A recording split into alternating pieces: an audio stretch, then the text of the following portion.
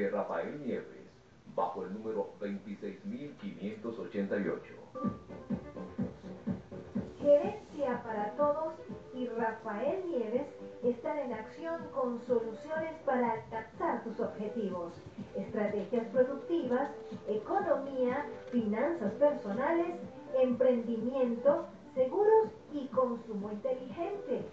Muchísimas gracias a las personas que siempre nos escriben, también a nivel global.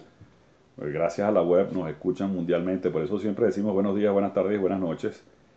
Y queremos agradecer a las personas que nos han escrito interesadas en nuestro curso La Máquina Financiera. Pueden escribir a nuestro email gerencia para todos ya gmail.com gerencia para todos ya gmail.com e inscribirse en nuestro curso La Máquina Financiera porque es importantísimo emprender. Ya hemos hablado de que el primer paso es tener el ser mental adecuado y hacernos la pregunta, ¿cuál es nuestra habilidad principal?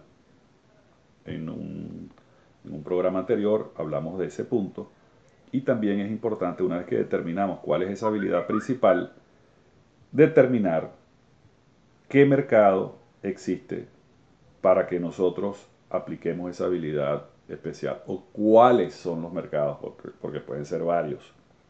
¿Cuáles son los mercados que pueden ser servidos con esa habilidad, con ese servicio, con ese producto en el cual tenemos una ventaja competitiva?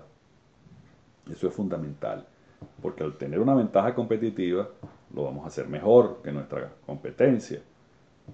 Por eso es tan importante la determinación del paso 1, cuál es nuestra habilidad principal para ir entonces al mercado adecuado. Hay personas que tienen una extraordinaria idea y quizás la aplican en un mercado que no es el adecuado y en consecuencia su tasa de éxito va a ser mucho menor.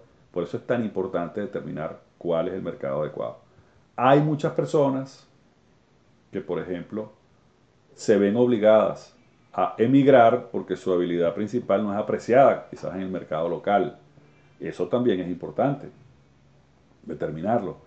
Se ve muchísimo en el, mundo del arte, en el mundo de la música, eh, cantantes, artistas, actores, que, y menciono este ejemplo porque es más visible, que no tuvieron éxito localmente, pero sí internacionalmente, y se atrevieron a dar el paso. Y ahí voy a introducir el tema del riesgo.